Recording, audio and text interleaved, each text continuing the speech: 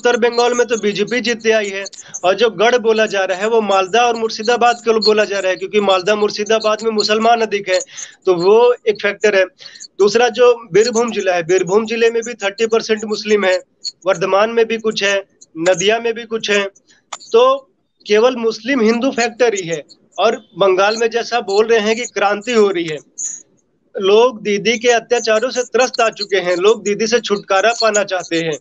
तो वो जो गढ़ है, जो गढ़ है भी, अभिषेक बनर्जी का जो गढ़ है दक्षिण चौबीस परगना में पूरी तरह से ध्वस्त होने वाला है, क्योंकि लोगों को एक बंगाल के लोग जो है, वो साइलेंट वोटर होते हैं। 2019 में यहाँ पे एक नारा भी चला था, चुपचाप कमल छाप। तो इस बार भी नारा चल रहा है, चुपचाप कमल छाप। तो बंगाल के लोग इसी तरह वोट करेंगे, उनको लग गया है कि बीजेपी आएगी। तो बीजेपी को वोट देंगे। लोगों में थोड़ा डर था एक, एक संशय था कि पता नहीं बीजेपी आएगी कि नहीं आएगी क्योंकि लोगों को डर है कि यदि टीएमसी गलती से आ गई तो उनको घर छोड़ के भागना पड़ेगा उनके लिए जीवन खतरे पे हो जाएगा। लेकिन जो जिस तरह से नतीजे आ रहे हैं जिस तरह से रुझान आ रहे हैं जिस तरह से लग रहा है कि बीजेपी आने वाली है तो भाजपा बंगाल के लोग कोई गलती नहीं करेंगे और वो बीजेपी के ही वोट करने वाले अब पांडे जी हाँ। लोग पूछना चाह रहे कुछ लोग पूछ रहे हैं सवाल लगातार कि ग्रामीण अंचल में जो किसान हैं और जो। बंगाल में जो किसानों को जो पीएम किसान निधि का फ़ायदा नहीं मिला है उसका क्या फ़ायदा होगा? ग्रामीण अंचल में किसानों के वोट का क्या प्रभाव आप देख रहे हैं?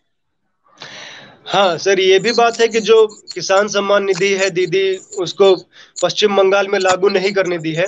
तो ये बात लोगों तक जन जन तक पहुँची है।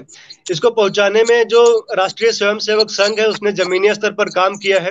लेकिन हमने लोगों से भी पूछा कि भाजपा इतनी बड़ी पार्टी तो पश्चिम बंगाल में है नहीं तो आप लोगों तक ये बात पहुँची कैसे?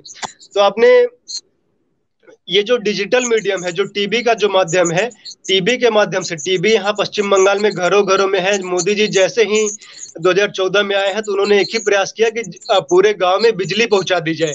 क्योंकि क्योंकि उनको पता है कि पूरे भारत में लोगों को मूर्ख बना के वोट, किस तरह से लोग जाति के आधार पर धर्म के आधार पर राजनीति करती है तो उन्होंने जगह जगह पे सबसे पहले बिजली पहुंचाई। बिजली पहुँचा तो टीवी पहुँचा और उसके बाद फिर जो इंटरनेट पहुँचा है मुकेश अंबानी के माध्यम से जो इंटरनेट पहुँचा है सोशल मीडिया पहुँचा है तो इसका बहुत बड़ा फ़ायदा बीजेपी को हुआ है। सोशल मीडिया का बहुत बड़ा फ़ायदा बीजेपी को होता है। तो ये बात लोगों तक पहुँच गई है कि दीदी, छह हज़ार रुपया किसानों को नहीं मिलने दे रही है। दीदी आयुष्मान भारत में जो पाँच पाँच लाख रुपया मिला है मिलना चाहिए जो आ, किसी गरीब को बीमार होता है तो वो नहीं मिल पा रहा है। क्योंकि दीदी ने ये बोला था कि हम आयुष्मान भारत पश्चिम बंगाल में लागू नहीं करेंगे क्योंकि सभी पे लागू होगा नहीं सभी को मिलेगा नहीं हम सबको देंगे। तो दीदी ने यहाँ पे एक कार्ड चलाया है स्वास्थ्य साथी कार्ड जिसके माध्यम से भी वो पाँच लाख रुपया देती है। लेकिन वो अभी लागू किए हुए दो तीन महीना हुआ है। मतलब उन्होंने ऐसा वादा किया है, घोषणा किया है दो तीन महीना हुआ है और उसका लाभ किसी को मिल नहीं रहा है। किसी भी प्राइवेट हॉस्पिटल में, सरकारी हॉस्पिटल में जाते हैं तो बोलते हैं कि इसमें पैसे नहीं है, वो कार्ड को फेंक देते हैं। उसमें जब रिचार्ज ही नहीं है, पाँच लाख रुपए है ही नहीं तो लोगों को मिलेगा नहीं कैसे? ऐसे कई सारे केस आए हैं कि लोग मर गए हैं। उपचार के अभाव में लोग मर गए हैं। तो लोगों को ये बात समझ में आ रही है, लगातार प्रचार हो रहा है कि आयुष्मान भारत होता तो कम से कम पाँच लाख रुपया मिलता, उनका जो जीवन है बच जाता। तो लोगों तक ये बात पहुँची है। और ये बहुत ही कॉमन सेंस की बात है जनरल की बात है कि लोग कोई भी चाहता है, क्योंकि लोगों के घर बर्बाद हो जाते हैं। घर में कोई यदि बीमार पड़ जाए तो लोगों के घर बर्बाद हो जाते हैं, जो उनकी सेविंग है, वो पूरी की पूरी सेविंग खत्म हो जाती है। यदि पाँच लाख रुपया उनको मिलता है तो वो उनको बहुत बड़ा लाभ करता। तो ये इसका बहुत बड़ा प्रभाव पड़ेगा। किसानों से भी हमने बात की तो किसान भी चाहते हैं कि उनको वो छह हज़ार रुपया जो मिलता है मिले। क्योंकि यदि आपके घर में कोई बीमार पड़ गया या कोई समस्या आ गई तो आपकी अर्थव्यवस्था डगमगा जाती है। जैसे शुक्ला जी जो बात कर रहे थे, जो हम लोग मालदा में गए थे, जो तेरह साल की लड़की को जो मुसलमान भगा के ले गया था या उसका अपहरण कर लिया था तो तेरह साल की लड़की थी, वो सातवीं, आठवीं में पढ़ती थी, उसको क्या पता? तो उसको माइंड वॉश करके या ज़बरदस्ती अपहरण करके उसको भगा ले गए। पुलिस वाले बोलते थे कि तुम लोग तो लड़की को बेच रहे हो। फिर वो परिवार वाले जो हैं पुलिस ने उनको कोई सहयोग नहीं किया। वो महीने भर से घूम रहे थे, पुलिस के चक्कर लगाते हैं। जानते ही हैं कि किस तरह से जब केस होता है तो कैसे पुलिस चक्कर लगवाती है। आपका एक मोबाइल भी खो जाता है तो पुलिस चक्कर लगवाती है। तो किसी के घर की छोटी लड़की तेरह साल की चली गई है तो उनको महीने भर से चक्कर लगवा रहे थे। तो उसमें पैसा लगता है। फिर वो वो लोग डेली मजदूर मतलब प्लम्बर थे वो लोग, डेली काम पे जाने वाले लोग थे तो उनका महीने भर से काम पे नहीं जा रहे थे। तो जो वो सेविंग करके रखे थे, वो सेविंग भी समाप्त हो गई।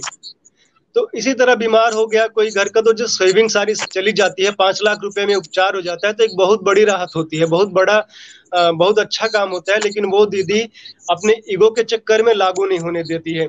उसके बाद जो प्रधानमंत्री ग्रामीण सड़क योजना है, यहाँ पे भी है, लेकिन कहीं पे भी ऐसे बोर्ड नहीं लगे हैं, सभी पे लगाता है कि हम वेस्ट बंगाल का जो मुख्यमंत्री मुख्यमंत्री करके मतलब उस तरह से नाम मतलब काम है प्रधानमंत्री का, लेकिन अपना नाम लगा के वो करती हैं। चावल सबको लॉकडाउन में पाँच पाँच किलो चावल मिलता था। और लॉकडाउन जब हुआ तो पाँच पाँच किलो एक्स्ट्रा मिलने लगा। उसके साथ एक किलो चना या चने की दाल मिलने लगी। लेकिन उस समय भी यहाँ पे लोगों को दो तीन किलो ही चावल मिलता था। चना नहीं मिलता था। तो लोगों को जब ये बात टीवी के माध्यम से पहुँचती है कि हमको मतलब पाँच किलो चावल भी तुम नहीं दे रहे हो, उसमें भी दो किलो खा जा रहे हो। मतलब पाँच किलो चावल भी नहीं तुम दे रहे हो। और वो चावल का करते क्या थी? अभी कुछ दिन पहले इन्होंने पाँच रुपए में डीम भात शुरू किया। डीम भात अर्थात अंडा। पाँच रुपए में अंडा भात देती हैं ये।